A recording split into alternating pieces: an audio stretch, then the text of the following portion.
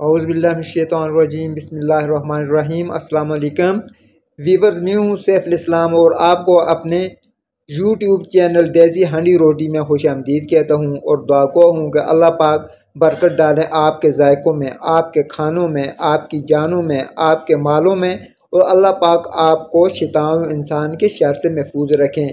तो दोस्तों, आज जो रेसिपी हम बनाने जा रहे हैं वो है दाल चन्ना।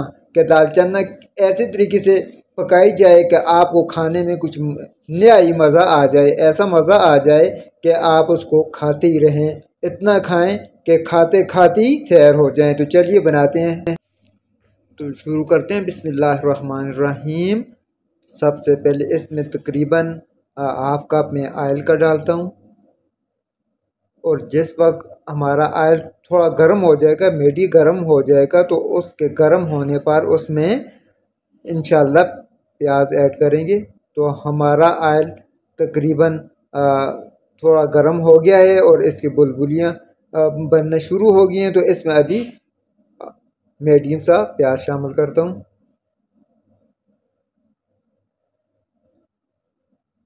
तो दोस्तों, इसको हमने हाफ़ ब्राउन करना है लाइट ब्राउन करना है, बिल्कुल ब्राउन नहीं करना, ताकि ये जिस वक्त लाइट ब्राउन हो जाए तो फिर हमने इसमें अगला पेस्ट शामिल करना है।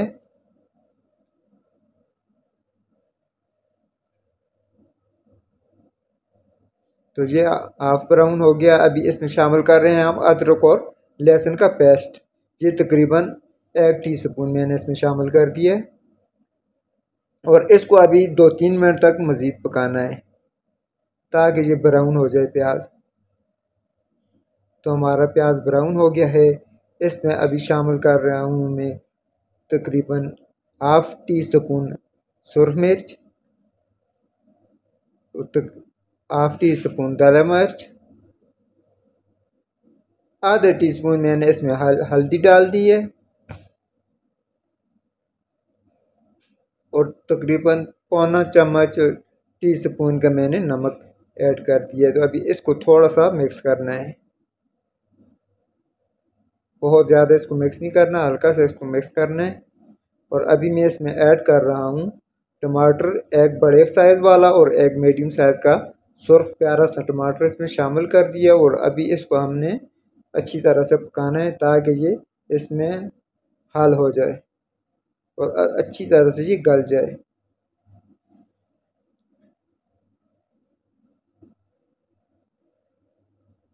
तो दोस्तों, हमारे टमाटर तकरीबन इसमें गल गए हैं। मामूली सा फ़र्क रहता है, थोड़ा सा पानी डाल के इसको मज़ीद हम पकाते हैं ताकि जो थोड़ा बहुत ही कसर रहती है, वो भी अच्छी तरह से हल हो जाए।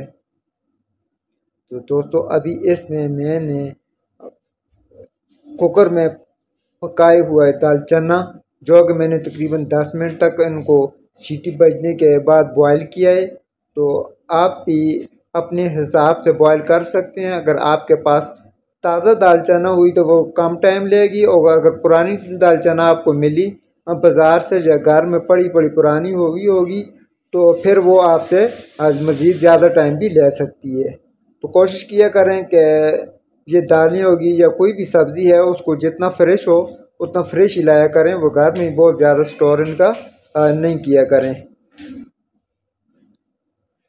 ताकि घर में पड़े पड़े भी ख़राब हो जाती हैं।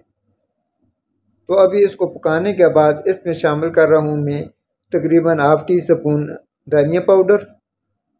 थोड़ा सा मैंने इसमें ज़ीरा ऐड कर दिया है और हाफ़ टी स्पून मैंने इसमें गर्म मसाला ऐड कर दिया और अभी इसको थोड़ा सा घुमाना है। बहुत ज़्यादा इसको नहीं पकाना, बस कि इसको थोड़ी सी घुमा लेना है। थोड़ा सा घुमाने के बाद इसमें अभी मैं ऐड कर रहा हूँ दो अदद कटी हुई हरी मिर्च। और इसको फिर हमने थोड़ा सा घुमाया। थोड़ा सा घुमाने के बाद मज़ीद इसमें एक अदद लेमू, एक अदद, सॉरी, आधा लेमू मैंने इसमें निचोड़ दिया है। जो कि इसके जायके को दोबाला कर देगा। जिस वक्त आप खाएँगे ना तो ये जो आधा नींबू है, ये आपको इतना लुत्फ़ देगा कि आपको बहुत ही मज़ा आएगा।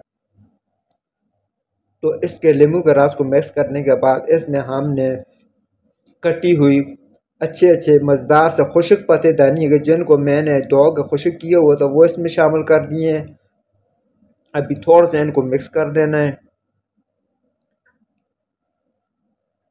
तो हमारी माशाल्लाह से बहुत ही प्यारी सी रेसिपी बन गई है। तो इसमें अभी हम थोड़ा सा पानी ऐड कर लेता हूँ। ताकि बिल्कुल खुश्क है, थोड़ा सा पानी आप अपने हिसाब से पानी इसमें ऐड कर सकते हैं। अगर बिल्कुल आप खुश खाना पसंद करें तो आपको पानी शामिल करने की ज़रूरत नहीं है। अगर शोरबा बनाना चाहे तो थोड़ा सा आप ज़्यादा भी ऐड कर सकते हैं। तो मैंने बिल्कुल थोड़ा ही से किया है। तो इसको मैं थोड़ा सा पकाऊँगा चूँकि कच्चे पानी का इतना मज़ा नहीं होता। तो जिस वक्त इसको थोड़ा सा पका लेंगे तो हल्के हल्के इसमें ग्रेवी बन जाएगी और उसकी खूबसूरती भी होगी और बहुत ज़्यादा मज़ा और लुत्फ़ भी आएगा। तो ये देखें दोस्तों, हमारी रेसिपी हो गई है बिल्कुल तैयार। उम्मीद है आपको ये ज़रूर पसंद आई होगी। तो आपसे मेरी दरख्वास्त है कि मेरी वीडियो को लाइक कर दें और नए आने वाले दोस्तों से मेरी स्पेशल रिक्वेस्ट है कि मेरे चैनल को सब्सक्राइब कर दें। साथ बेल आइकन के बटन को भी दबा दें ताकि आने वाली वीडियो आप तक पहुँचती रहें। और आप तमाम लोगों से मेरी रिक्वेस्ट है कि मेरी वीडियो को ज़्यादा से ज़्यादा अपने दोस्तों से शेयर करें। ताकि आप तक अच्छी अच्छी वीडियो और रेसिपी पहुँचती रहे आयदा वीडियो तक के लिए आपसे इजाज़त चाहता हूँ। अल्लाह हाफिज़। दुआ में याद रखिएगा।